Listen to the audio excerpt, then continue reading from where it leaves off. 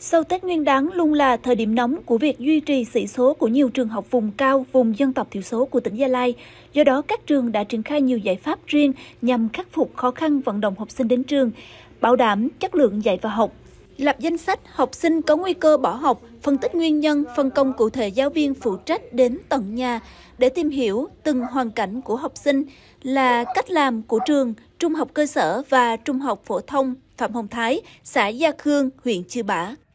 Thời điểm nghỉ Tết Nguyên đán cũng là thời điểm thu hoạch nông sản cao su nên nhiều học sinh đã theo cha mẹ đi cạo mũ, thêm thu nhập cho gia đình. Em Rơ Trâm Phâm, lớp 6 A2 cũng đang nghỉ học, ở nhà phụ giúp gia đình làm nương rẫy đi làm thuê. Biết tin ban giám hiệu nhà trường cùng giáo viên phụ trách đã đến tận nhà, tìm hiểu và có biện pháp hỗ trợ cụ thể giúp em Phâm có điều kiện tiếp tục học. Cùng với đó, nhà trường đã đầu tư xây dựng khu bán trú đủ tiện ích giúp học sinh yên tâm ở lại tập trung học tập.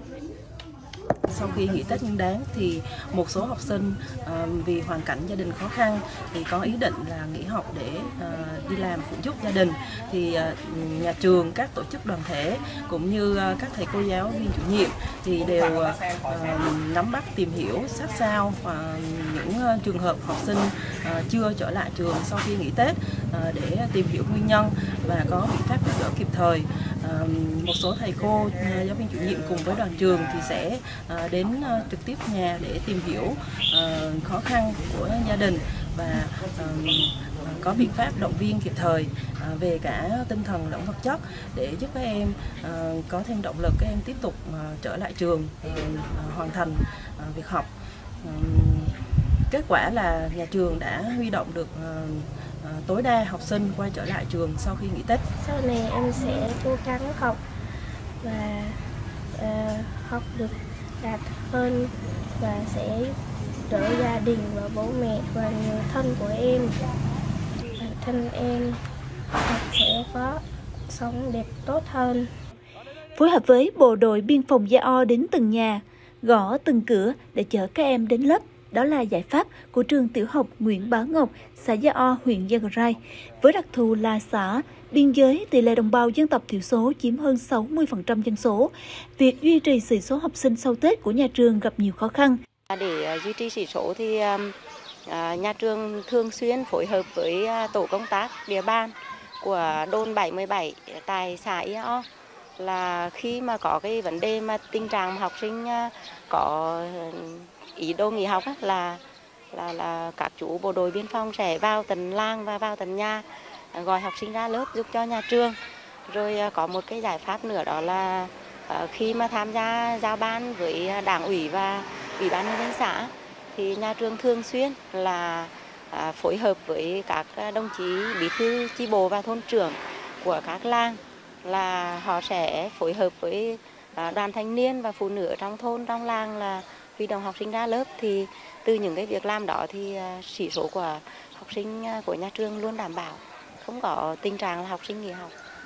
Từ sự phối hợp đồng bộ giữa nhà trường, chính quyền địa phương, đặc biệt là bộ đội biên phòng Gia O trong công tác vận động học sinh đến trường, nên các em học sinh đã đến trường đúng thời gian, duy trì tốt nền nếp học tập. Trong năm qua thì ờ, đơn vị cũng đã phối hợp tốt với các cái trường để tuyên truyền vận động các em ngay từ bước đầu rồi đi ờ, học nghỉ hè trong cao học. Và trong quá trình học thì có một số em đi học không chuyên cần. Thì chúng tôi cũng đã phối hợp với ờ, các thầy cô nhà trường rồi là các ờ, ban ngành của thôn làng gia đình nữa tuyên truyền vận động các em để duy trì chỉ số của học sinh của các trường. Theo thống kê từ Sở Giáo dục và Đào tạo tỉnh Gia Lai, sau kỳ nghỉ Tết Nguyên đán 2024, có hơn 260 em học sinh nghỉ học.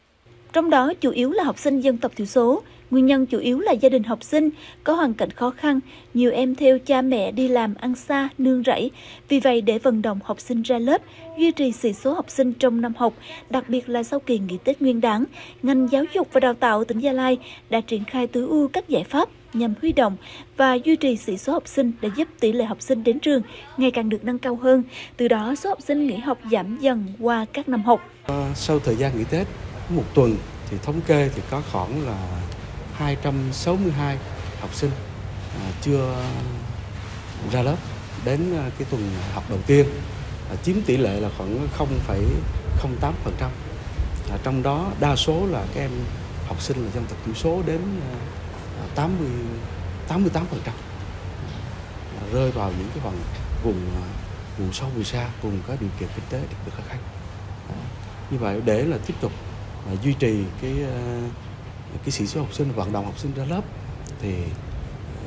phải nói là trong năm 2023 Sở Giáo dục đã xây dựng cái kế hoạch phối hợp